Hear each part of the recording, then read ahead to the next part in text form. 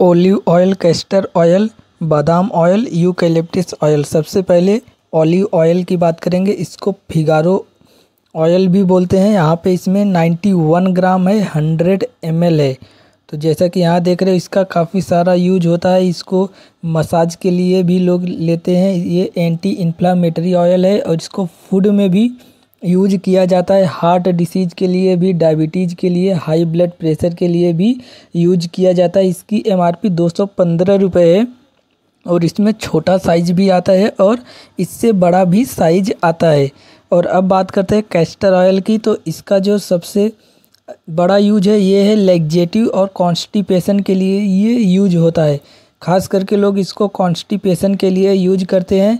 और ये कॉस्मेटिक्स में भी यूज़ होता है। डॉक्टर जो है, ज़्यादा करके इसको, ये ऑयल को रिकमेंड करते हैं। तो आप इसको आसानी से ले सकते हो और इसमें छोटा साइज़ भी आता है और इसमें बड़ा साइज़ भी आता है। तो यहाँ पे देख रही, ये हंड्रेड एम का है।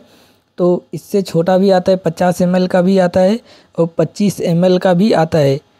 और उसके बाद रोगन बादाम तेल की बात करें तो ये जो है, काफ़ी महँगा है क्योंकि ये हंड्रेड परसेंट प्योर है। और इसमें प्योर बादाम का ऑयल है और इसको लोग हेयर के लिए ज़्यादा यूज़ करते हैं। इसमें विटामिन ई रहता है तो स्किन के भी फ़ायदेमंद है और हेयर के लिए भी ज़्यादा फ़ायदा करता है और इसको लोग पीते भी हैं दूध में। तो ये पचास एम है, दो सौ बीस रुपये का। तो ये काफ़ी ज़्यादा महँगा है। इसमें छोटा साइज़ भी आता है और इसमें बड़ा साइज़ भी आता है।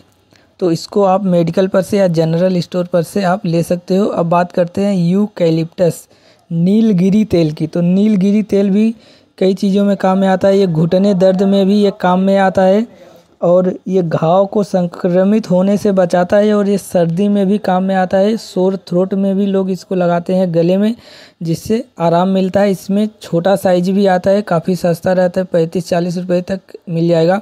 तो एक बात याद रखना, इसको लेते समय एक्सपायरी डेट ज़रूर चेक कर लेना। कोई भी प्रोडक्ट लेते हो तो एक्सपायरी डेट ज़रूर चेक कर लेना। तो आप इस तेल को इन चारों तेल को आसानी से मेडिकल पर से या फिर जनरल स्टोर पर से ले सकते हो। जनरल स्टोर पर से उतना आसानी से नहीं मिलेगा, लेकिन जो है मेडिकल पर से आपको आसानी से मिल जाएगा। इसमें छोटा साइज़ भी आता है। तो बेटर रहेगा, आप छोटा साइज़ पहले यूज़ करो, उसके बाद जो है बड़ा साइज़ लेकर यूज़ कर सकते हो या फिर दूसरों की सलाह से लेकर इसको यूज़ कर सकते हो।